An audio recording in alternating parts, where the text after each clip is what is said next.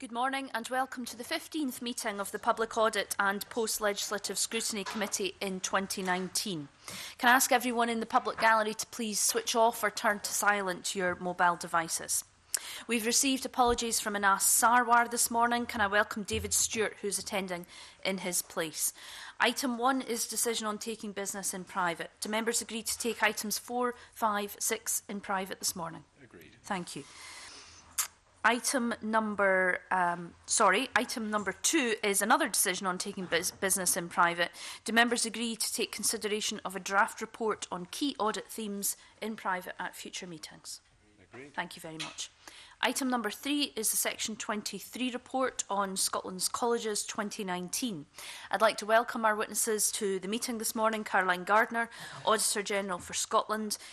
Mark McPherson, Senior Manager Audit Scotland, and Mark McCabe, Audit Manager for Audit Scotland. I'm going to ask the Auditor General to make an opening statement. Thank you, Convener. Today's report provides an overview of the college sector in Scotland, in particular college finances and the learning outcomes for college students. There was a small improvement in the overall financial position of Scotland's 20 incorporated colleges in 2017 18. However, colleges are operating in an increasingly tight financial environment, and this sector wide improvement masks significant variations between colleges, with several facing particular financial challenges. The gap between colleges' income and expenditure is widening, and 12 incorporated colleges are forecasting recurring financial deficits by 2022 23. Only two of these colleges had identified the actions needed to achieve financial sustainability. With the financial pressures on colleges, it's essential that they improve their financial planning. The Scottish Government has been increasing revenue funding for colleges over the past few years, mainly to cover additional staff costs arising from national bargaining. The latest funding allocation for 2019-20 will cover the additional costs of harmonising pay and conditions across the sector. Colleges face additional pressures in paying for cost of living increases and increases in pe employers' pension contributions. Scottish Government capital funding also falls short of the estimated costs of maintaining the college estate. Despite these financial challenges, the sector continued to exceed targets for learning activity and student places a high proportion of college leavers go on to other education, employment or training. Colleges are widening access to disabled, ethnic minority and care experience students, but after several years of increasing learning delivered to students from deprived areas, the proportion fell slightly in 2017-18. There's considerable variation across colleges and student outcomes. Attainment gaps still exist for students from the most deprived areas, students with disabilities, and care experience students. Average attainment rates for students in full-time education have remained relatively static in recent years and remain some distance from the Scottish Funding Council's targets. We think that achieving some of these targets will be very challenging. Finally, the Funding Council could do more to work with colleges and their boards to improve financial planning and transparency in the reporting of performance information, including student satisfaction data. As always, convener, we're happy to answer the committee's questions. Thank you very much indeed, Auditor General. I'm going to ask Dave Stewart to open questioning for the committee. Um, thank you, Convener. Um, good morning and thank you for coming for the committee again. I'm really interested in seeing how we can get more young people, indeed people of any age, from disadvantaged areas into colleges.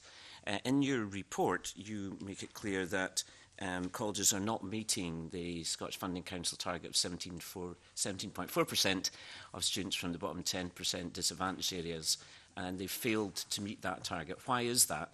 And will they meet the target, which I think is 20% for 2020-2021? Um, it's important to say that we think colleges are doing lot, a lot to try to uh, meet that target and to widen access. And I'll ask the team in a moment to give you more of a sense of um, what's happening across Scotland and how colleges are learning from it. Um, but you're right um, that we say in our report we think it will be hard for colleges to meet the target of 20% by 2021. Um, that's for a couple of reasons. First of all, um, the demographic um, pattern of Scotland overall means that there are fewer young people in this age group available, if you like, to fill the college places that are available and at the same time um, the Scottish Government has got a wider policy of increasing their participation in higher education. Um, so more young people are going on to university with support to do that who may previously have remained in further education. So there's a, a real contextual um, picture that makes it harder for them to do it. Mark, do you want to say a bit more about what colleges are doing to help? Well, I think predominantly it's about um, making sure there's an appropriate package of support available for students from those more difficult backgrounds or deprived areas. Um, mm-hmm. I think examples were given in the report include things like like helping with travel to get to college, which has always been a bit of a barrier for people who've come from maybe low income backgrounds. So it's very practical steps like that. Mm. The other question, uh, uh General, is why this trend was reversed because in, in, earlier years we were going in the right direction. So why you've mentioned some possible reasons, but why um, in the most recent year that you report we've we've gone backwards? I think the short answer the uh, reasons aren't absolutely clear. Um, we show the trend in Exhibit 12 on page 23 of the report, and there had been a slowly increasing trend over the three years before that. It then dipped very slightly last year in 1718, um, and that leaves quite a big gap, 3.5% up to the 20% target in three years' time. Um, the Funding Council is looking at the reasons with colleges, but I think it's not possible for us to give you a clear answer to that picture. And so my final question, convener, is um, this is not a zero sum game in the sense that you know higher education is good, for education bad. Clearly, we're not uh, making naive comments about that. But you you tend to suggest there might be a little bit of squeezing going on uh, because there's targets for higher education that might be affecting the demand for further. Is there anything in that? And I know some issues around funding which have been raised before on this issue. I, I think there's two things I'd say. One, you're absolutely right. It's not that mm. higher education is, is better than further education or vice versa. The question is what, what's right for the individual young person, for their own skills and talents and aspirations, um, and how is that best supported by our wider education and skills system. Um, we say in the report that the Funding Council should review whether its targets are achievable um, in the context that we've just been describing.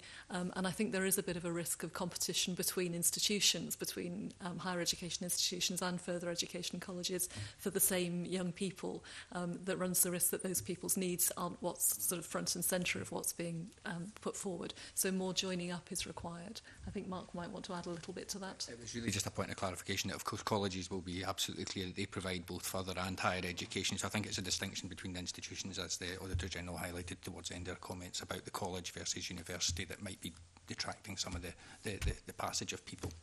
And of course, the general point, um, convener, is that um, although we've mentioned young people, clearly we all believe that lifelong learning is important. So we're looking at adults, uh, people of any age. We want to encourage into further education, particularly from the bottom 10% of our most disadvantaged areas. And um, we do say in the report, I'm just fumbling through the pages and the team, will, the team will keep me straight, that we've now seen a reversal of the pattern that we saw um, five years or so ago of many fewer older um, learners and part-time learners in further education because of the government's um, priority to encourage young people to study for qualifications that would lead to employment. Um, so we're now seeing that shift um, reversing again. Uh, but you're right, the further education system is very important to older learners, particularly as we we enter a world of much longer working lives and rapid technological change that means we all need to, to stay up to date and reskill from time to time. Thank you. Auditor oh, General, just a follow-on question from Dave Stewart. Um, students who have been in care, um, they have the lowest attainment rates, but they were the only group where attainment has actually fallen. Are you aware of any kind of support that the colleges are providing for these students?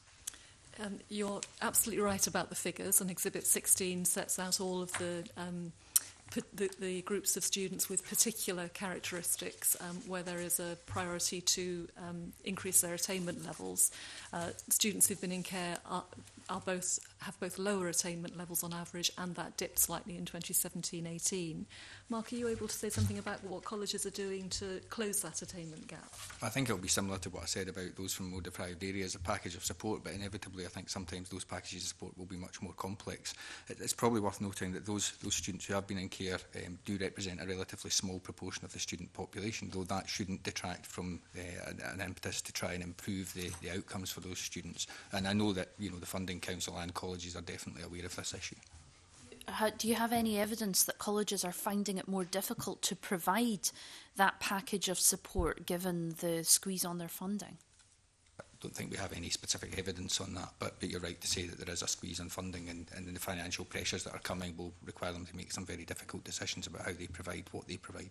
Okay, this may be a question for a, perhaps a session after this. Colin Beattie. Thank you, Convener. Well, uh, General, I've got three main areas I'd like to, to, to run through. I would make a general comment, though, that this report seems remarkably like the previous one, with the same pressures and the same issues arising. Would you agree on that? I think so. The committee will know that for um, both the college sector and the NHS sector, we produce a report every year which pulls together the results of the audits of all of the bodies in that sector. Um, in, in some ways, I think it would be quite surprising if we saw a massive shift from one year to another, um, but we try to give you a sense of the trends that, that we're seeing.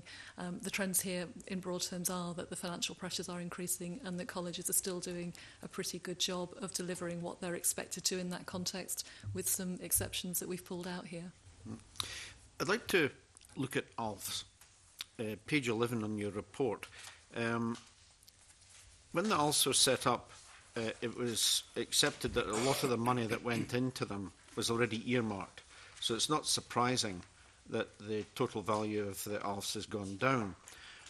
What did concern me a little bit, and maybe you can help me with this, it looks like the income that colleges are getting from sources other than SFC have actually, has actually reduced. Is that so?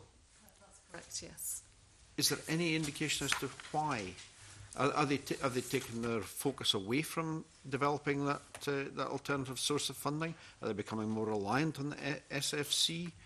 You say there's financial pressures. You think they would be continuing to try and maintain their alternative sources of income? Um, exhibit 1 in the report gives you a picture of where their in income came from in 2017-18. Um, almost 75% does come from the Scottish Funding Council, and that's an increasing proportion. Um, about 16% comes from tuition fees and education contracts that they're bidding for to win, and um, just under 10% comes from a range of other sources. Um, you're right, the other sources are reducing, and we think colleges are finding it harder to generate income in those, in those ways, um, partly, as Mark said a moment ago, just just because the pressure on the resources in general makes it harder to identify and follow up those opportunities, and partly because um, the uh, the slow growth of the economy overall means that there are fewer of those opportunities around um, that are available for colleges to seek. Um, that's obviously a sector-wide pattern, but there will be greater variation for individual colleges, and it's one of the things we'd like to see the Funding Council taking um, clear account of as it looks at the long-term forecast for individual colleges and for the sector as a whole. Mm. Leaving aside tuition fees, what was the main source of alternative uh, funding for the colleges? Um, tuition fees and education contracts together are the 16%, and education contracts tend to be where colleges bid for a contract to provide um, education and training either to a large employer or a group of employers, or um, one of the examples we use in here to, prov to provide education to the prison service, which Fife Council won last year. So it can be a range of different things, but that's the, the kind of um, contracts we're talking about. I think That's Mark, the only source of income they've got. Mark's looking to come in. They might have other sources through uh, releasing their facilities for, for example, hopefully low cost community use but for other businesses or services to make use of the facilities when they're not using them. Equally catering contracts within the college could be another source of income. Okay. Just just just to move on. Um, the report, as you've already highlighted, indicates that the college sector has a, a small but improved underlying financial surplus. Uh, but you say that uh, colleges are operating within an increasingly tight financial environment and that the sector-wide position masks certain challenges for some colleges. Could you expand on that statement a little bit about the challenges that are being faced? Um, certainly, I, I think there's two elements I'll, I'll pull out, and the team may want, want to add to this. First of all, for the sector as a whole, um, the Scottish Government has been providing real terms increases in funding over the last um, three years, since 1617, I think um, but their small real terms increase, and in the latest budget that's been agreed, um, it's only sufficient to cover the additional costs of harmonising pay and conditions for staff. Um, at the same time, we know colleges are facing additional pressures from um, the cost of living um, agreement that's just being finalised at the moment, um, from increased employer contributions uh, to the pension schemes, and um, maintenance costs which aren't fully covered by the capital budget that's available. So those pressures are baked in for the sector as a whole. Beneath that, individual colleges um, face different financial pressures and, and are in diff different financial positions. And we try to give you a picture of that in Exhibit 6, which summarises a range of financial indicators for all 20 of the colleges. Um, there's a, a lot of variation in there, um, but we highlight in the report three colleges that are facing particular challenges, and I think it's fair to say also that the more remote and rural colleges also tend to be finding it harder than those that are in more urban areas. I think this question of, uh, uh, for a better word, rural colleges has come up before and has, has been discussed as an issue, and particularly with uh, the Highlands area.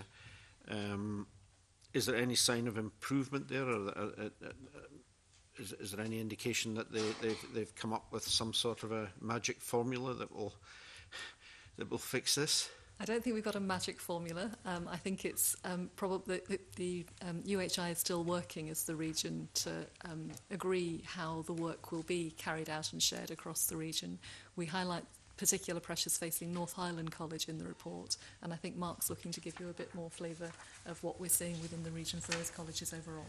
Yeah, I think there's um, it, very much the, the regional body uh, in terms of UHI provides support for those colleges and it, it's trying to um, minimise the, the problems on any individual institution by sharing um, funding across the, the various colleges to support their, their own individual sustainability because they all have very localised challenges.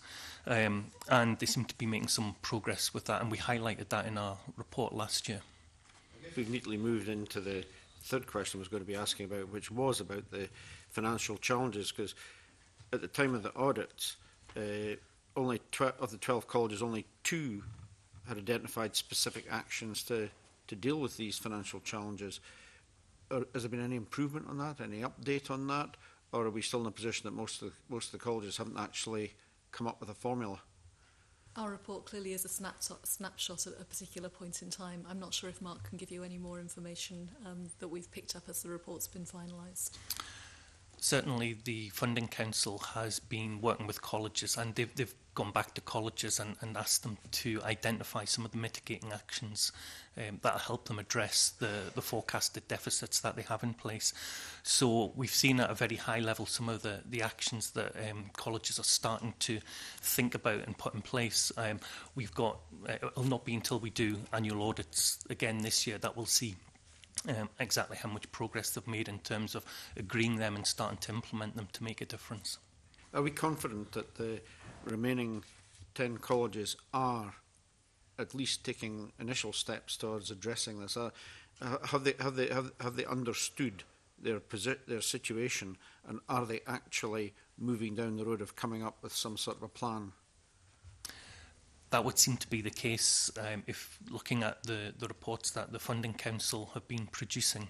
Um, um, they've all identified some mitigating actions. As, as we say, um, it's not until we do the audits this year that we'll get a clearer sense of just how well developed they are um, and you know how much progress is being made against them. Mitigating actions isn't really a, an action plan to take you through, is it? No, and that's one of the points that we, we're stressing in the report is that as well as getting the, the forecasts from colleges, um, we're asking the SFC to also get the medium-term financial plans to, to back them up so that we have greater assurance that, you know, as well as just identifying the position they're going to be in, that they have a much more robust process in terms of addressing those deficits. And has the SFC agreed that recommendation? Yes. They have supplementary on this point from Dave Stewart. Yeah, thank you, Convener. Can I just take you back to Colin Beat's point about UHI? You'd be aware UHI is in, within my region and I'm a very strong supporter of UHI. Another factor uh, that's perhaps on the risk re register is the important reliance on European structural funds within UHI. For example, European Social Fund has been really important in that area I'm reluctant to raise the Brexit word uh, today, but clearly as uh, if we exit uh, Europe, we are going to see the ending of this funding uh, probably around 2021. Um, have you looked at that particular aspect specifically for UHI since it's a, an important factor for external financial raising within that network? Uh, we say a little bit in the report about the potential impact of um, Brexit on the college sector as a whole. Um, clearly, as, as, you know, it will vary across Scotland. Um, you might know that the Funding Council prepared a paper, I think, at the end of last month, um, which was looking at the impact um, on colleges um, in more detail than we've been able to do. but that's something we'll feed back into next year's audits. I think, uh, from our experience, it's particularly the University of the Highlands and Islands and some of the colleges in the west of Scotland that have benefited from that that funding in the past um, and it's in everybody's interest to know as soon as possible what the impact might be and how far the Scottish Government will be able to replace that funding depending on the agreements with the UK Government. a, a comment rather than that, a question. I mean, obviously I'm aware that the UK Government's looking at a future share prosperity fund, which in theory would back up the current funding that's there um, I, much as I'd love to see that happening, I cannot uh, envisage that the, the total package of structural funds is going to be replaced in entirety by, by UK funding. If it happens, I'm happy to say I was wrong. But in terms of the financial aspect of this, I do see this as a major risk for, this, for the sector uh, post 2021. I completely recognise the concern. I think there's not much more we can say at this stage, but it's something that's on our radar. Thank you. Bill Borman. Thank you, convener. Morning. Um, you probably know that we've spoken before about the need for reliable data. And last year we raised concerns that colleges were using different assumptions when they were preparing their financial forecasts. And in their oral evidence to the committee, the um, Scottish Funding Council said it was addressing this, this issue. But your report indicates that although colleges did apply the SFC's common assumptions, they interpreted the um, their accounts directions inconsistently. So can I ask you, I mean, did the colleges, did they just not know what they were doing? Or did they know what they were doing and trying to achieve an outcome? Did the SFC know what was going on and did they do something about it? And did they think at the end of the day they would pull the wool over your eyes? I think there's two different things in that question that I'll try and unpick and then let the team come in from there. Um, the committee's attention, I think, last time was very much on the question of how the forecasts were being prepared with common assumptions, and we think there's been good progress there. Um, all of the colleges use the common assumptions in preparing their forecasts, with one difference at the end, which goes back to the answer that um, Mark McCabe gave a moment ago to Mr. Stewart. Um, some of the colleges prepared, pre prepared their forecast and included the effect of the mitigating actions that they were planning to take, so it came out with a sort of net position for where they expected to be. Other colleges prepared their assumptions without the mitigating um, action, so on the basis that nothing changes from the status quo. Um, the SSC, we understand, is dealing with that for next time round, but it's progress that they're all prepared on a common common basis to start with. I think what you were referring to at the end of your question was the comment that we make um, in paragraph 5 of the report about calculating the underlying financial position at the end of the financial year. And you're right, in that case, um, the accounts direction was um, applied inconsistently across the country. Um, we've made a recommendation this, this time that in future that process should be completed before the annual audit is done so that the figures can be adjusted if necessary to make sure they're consistent and the annual outturn will be shown on a consistent basis across Scotland. So do they know what their correct position is now? Has somebody gone back and looked at it? Um, we've looked at it and I'll ask Mark to talk you through where it goes from there. So um, this is the second year that the, the calculation for underlying um, position has, has been in the accounts direction. Um, and we highlighted last year that there were difficulties, um, which you would expect when there was a, there was a new calculation being introduced.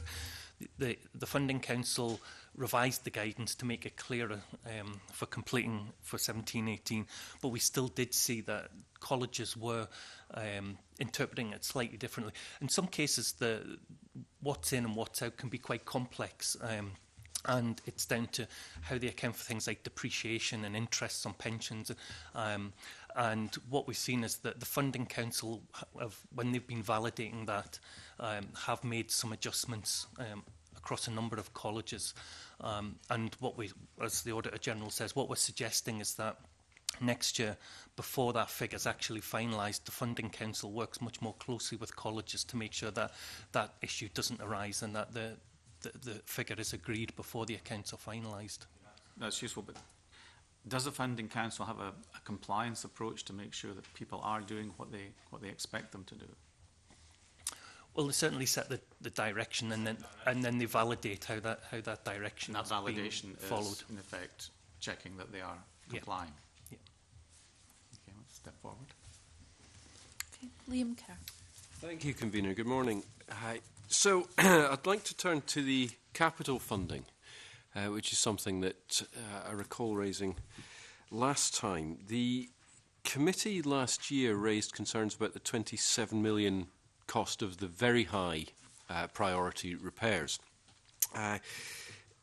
uh, are you able to tell me, ha have those repairs, those are the repairs, if I recall, that have to be done within one year of the last report.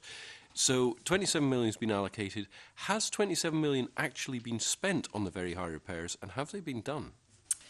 What we can tell you, Mr. Kerr, is that the £27 million was allocated for those particular repairs, and the Funding Council is monitoring whether the money was spent as planned. Um, we can't yet give you that assurance that it was spent on exactly the, the projects and the needs that were agreed, but the SFC is monitoring that, and we should have the information for next year. Grand. Was someone else going to speak there? Oh, sorry. Uh, so, uh, coming out from the very high priority items to the general backlog of repairs, which was uh, quite considerable last year.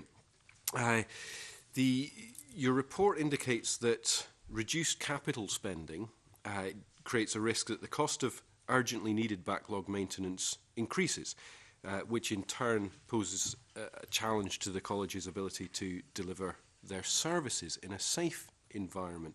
How great a risk is that, and what happens if it isn't addressed in practice? Well, just to give you a sense of the scale of the challenge, Exhibit 8 on page 16 aims to capture that um, in a, sort of graphical way um, that, that shows it clearly. And if you look at the top half of the page, the blue boxes for each year is the amount of capital allocation that's available for general capital funding as opposed to big new um, projects like the Fourth Valley campus. Uh, you can see it's relatively small, around 20, 25 million pounds every year, um, a, a jump up last year, um, as you say, uh, to focus on the very high priority backlog maintenance, and then for 1920 back down to 21 million pounds. The bottom half of the page gives a sense of what the estimated costs are of the backlog maintenance, um, 77 million for backlog maintenance and 22 million for life cycle maintenance. In 1920, about 20 million of that total is covered by the capital that's available, so a, small element. And it's worth noting that that's really only for um, maintaining the, the quality of the, the estate in terms of your question. It doesn't take any account of the need to be investing in particularly digital infrastructure that will be needed to keep colleges college's ability to deliver the learning and teaching they're responsible for up to date um, as we move into a world which is much more um, reliant on digital skills and digital technology. Mm-hmm. And uh, perhaps sticking with that then, uh, so your report then goes on to say that I uh, had various bodies, the, the Scottish Government, the Scottish Futures Trust and the SFC are looking to identify an appropriate revenue funding uh, model to, to make that investment, presumably to cover that 77 million and the digital transformation or some such.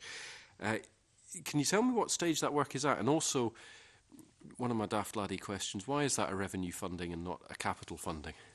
Um, I'll ask the team in a moment to um, update you on where they've got to with it. But um, as you know, the Scottish Government's ability to spend capital is um, limited.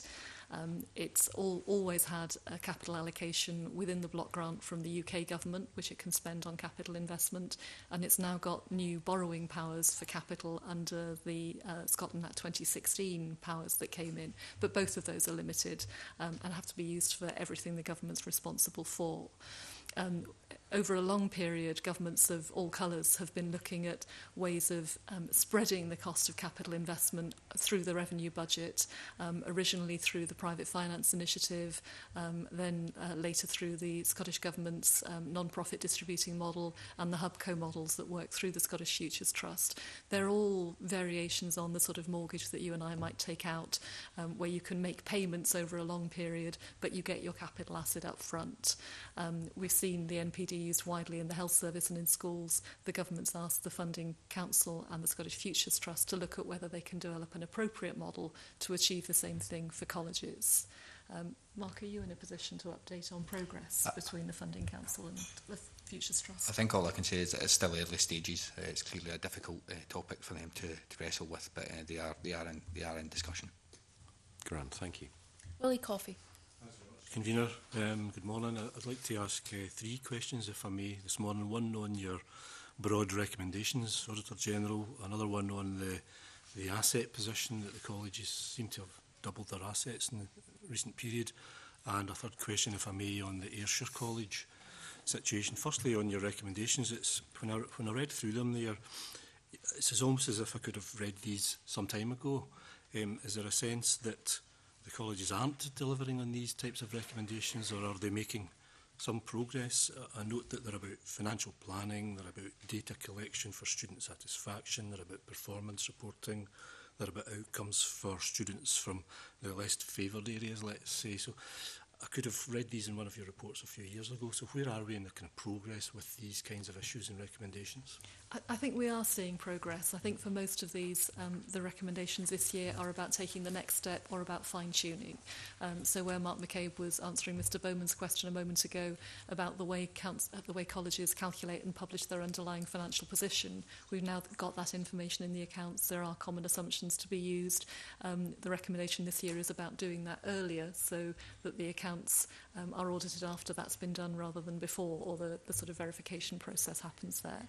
Um, the same on the information about uh, satisfaction and um, uh, college performance. Um, there is information available that wasn't inf wasn't available before, and we think there's room to make it um, more useful and more transparent. Uh, so it's about continuing to nudge improvement in that way, I think, over time. Do, do you get sense from um, the from the council, Scottish Government, the colleges themselves that they're positive in their response to these recommendations, or do they take a bit of time to digest this stuff and come back to you and hopefully to us?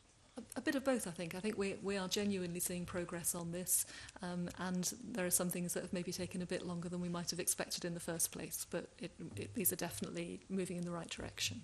Okay, thank you. The, the next question I have it's, it's on page 10 uh, of your report. It, it shows us there that the net asset value has more than doubled in the recent period, I think, well, in the last year, from 230 million to 484 million. I was hoping you could help us either now or at some later stage to break down uh, uh, an explanation of where that additional money has come from and, and are you able to provide it on a per college basis? what I can say in headline terms is that it's probably not quite as good news as it might appear at just, in just looking at the graph. Um, it's mainly accounting revaluations. Um, so we say in the text on the right hand side that of the increase, uh, the 254 million pound increase, 240 million of that was a result of revaluations of pensions and of buildings, which are, are si simply a sort of paper transaction um, to uh, put the figure into the accounts.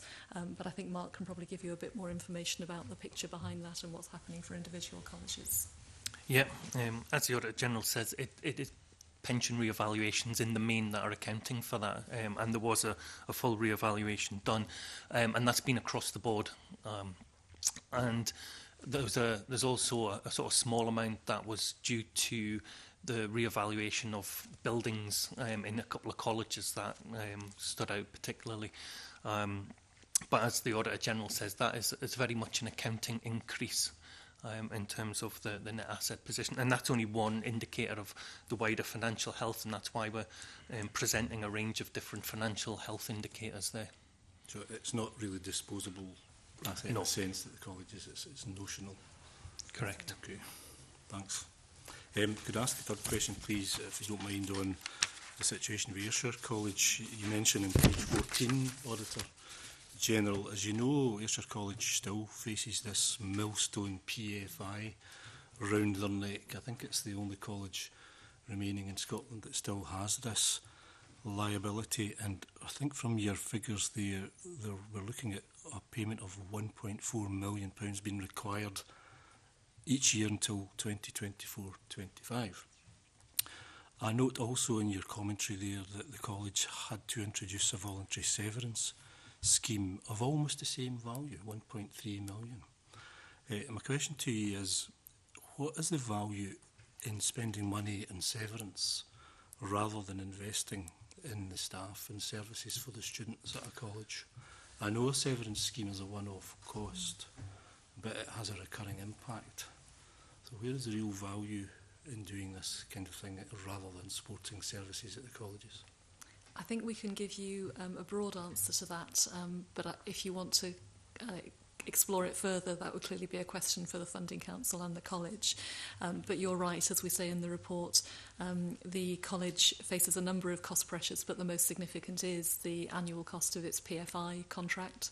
Um, that is £1.4 million a year um, for the next six years, um, which is a significant cost um, element of its budget, um, and it's working closely with the Funding Council to try and resolve that. Um, the Funding Council has agreed its two-year financial sustainability plan um, with additional funding um, to help address that.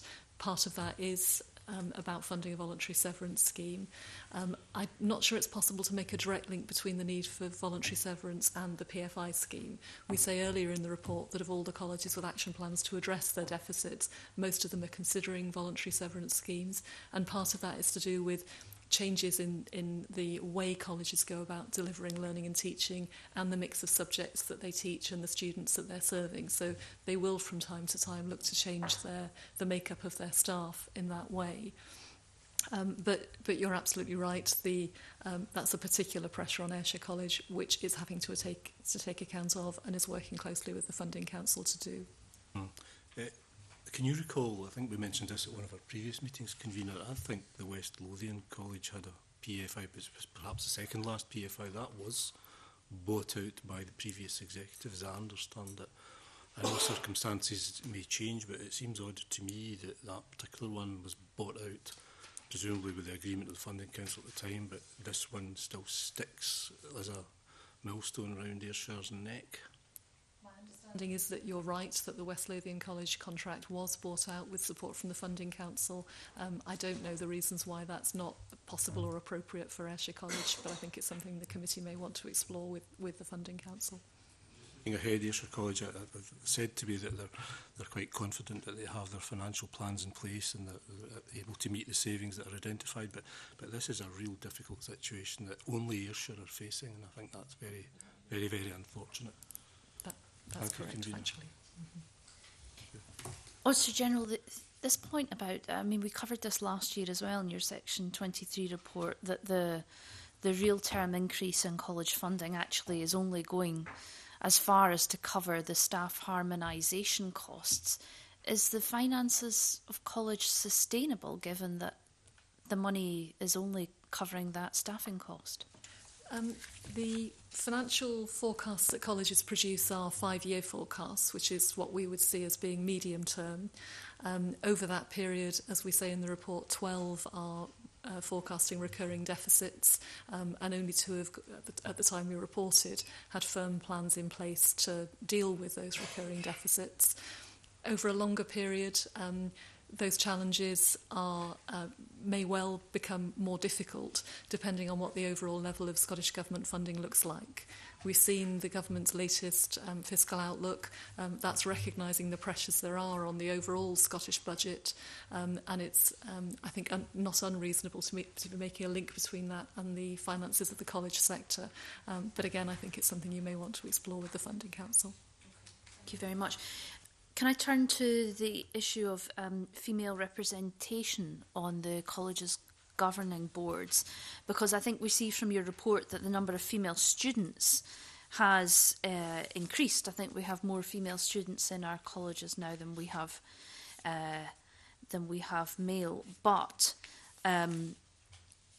the number of women on boards has actually fallen. I think we've lost four female board members across the country. Can you can you comment on that, please? You're correct. In paragraph 36, um, we uh, show that uh, women made up 43% of board members across the country. Um, the number of women fell by four during the year, and the number of men increased by 12, which is what accounts for the difference there. Um, the backdrop to that is obviously the government's legislative commitment, the statutory um, commitment now to have 50 50 um, by 2022. Um, It's important, I think, to note, though, that the makeup of college boards isn't only a matter the colleges themselves, as well as the members who are appointed to the boards. There are also elected representatives, uh, particularly representing staff and students, and that's not something that colleges can, can control directly. Um, but you're right, it's a trend which has started to go in the wrong direction rather than the right one. Do you think colleges are doing enough, or do you think there needs to be more support from elsewhere to, to improve this situation? I'm not sure I'm in a position to give you a, a, a picture, uh, an answer on that at the moment. Um, I think it is made more complicated for this sector because of the election of representatives. Um, and I think it's something, as, as you know as well as I do, which reflects society more generally rather than just the college sector.